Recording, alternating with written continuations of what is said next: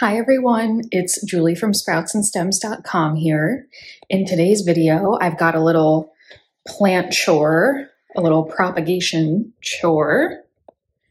I've got this beautiful pitcher plant and it has some babies that I believe are at the point where they need to be removed from the mother plant so we can give the mother plant back some of her energy because she's not putting out any new pitchers at all. This will be my first time propagating a pitcher plant in any way. Hopefully I am successful. So please subscribe to my channel for more planty content and we will get right into the video. Okay, so first thing is first, we have some dried sphagnum moss here, which is what I'm going to put the babies in. We're going to get it damp with some distilled water because carnivorous plants do not want tap water.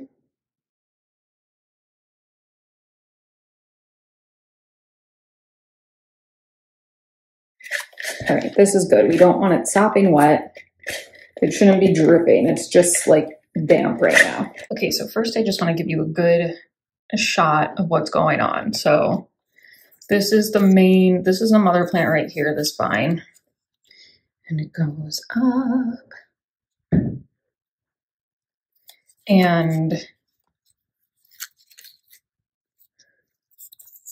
this one is separate, but I can't quite tell if it's attached under the soil or just above. Um, and then there are some other things going on. It looks like maybe a few little babies. I can't tell how many separate babies there are. I don't know if I'm going to take all of them today, but uh, definitely going to take this big one. So that one baby, the bigger one is bigger than I thought. So I don't know if you can see, but this, there's one baby right here. And it's the one I'm, I've been uh, talking about. And there's another baby, the one that's moving right now right there, and that's a little bit smaller. And that's all I can see for now, and that's what I'm going to work with. So this is for sure a tight situation in here. I'm just going to try to dig a little around that stem just to try to get a little further down. I do see where it's attached to the main one. It's not connected by like an underground root. It is connected from the very, very, very base of the stem. I'm gonna try to bring you in closer. This is the main stem right here.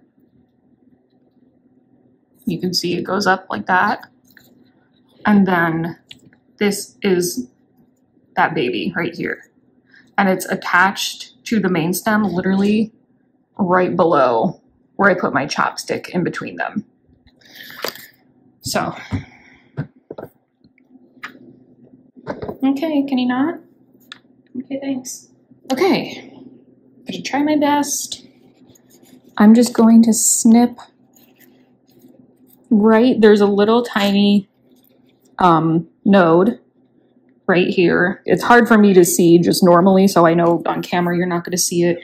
Um, but there's a little tiny node and a leaf, and I'm going to try to snip just right underneath that. Okay. Okay.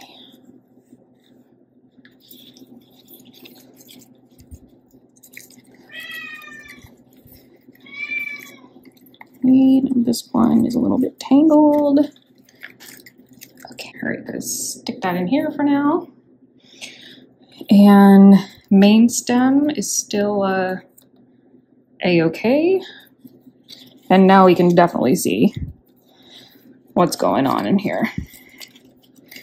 All right, is this one plant? Or is this two plants? That is the question.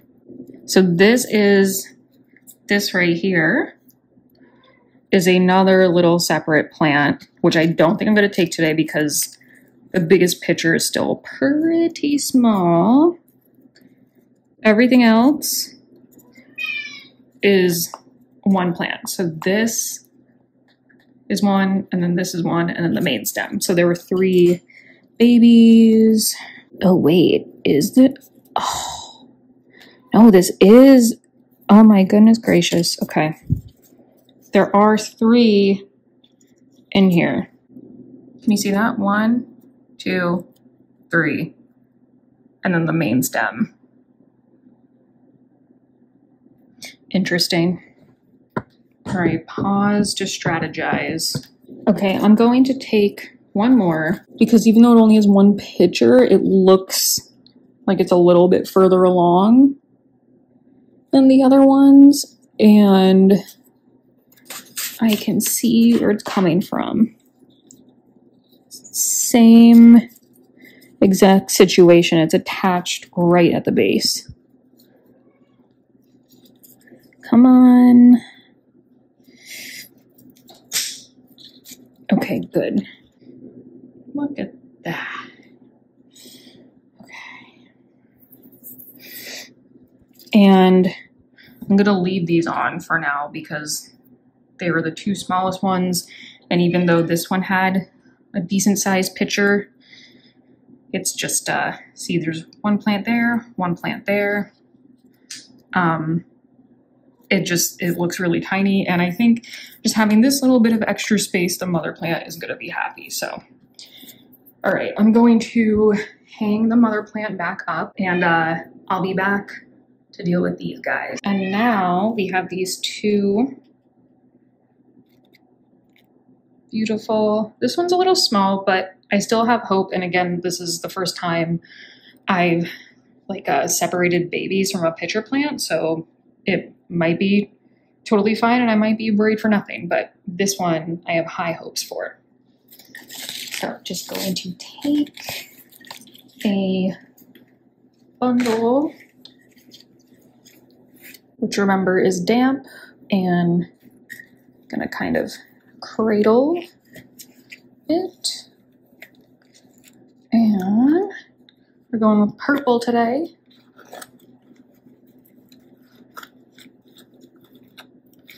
That is, that is that. A little bit more just around the top.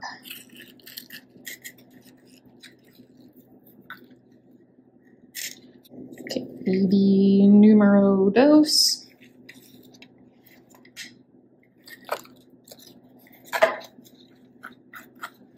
And these are definitely going in the greenhouse cabinet where there's nice bright light and humidity, where my other baby pitchers are. And the mother plant will go in the greenhouse cabinet soon, actually, because there's just not enough light in my bedroom where I have her right now.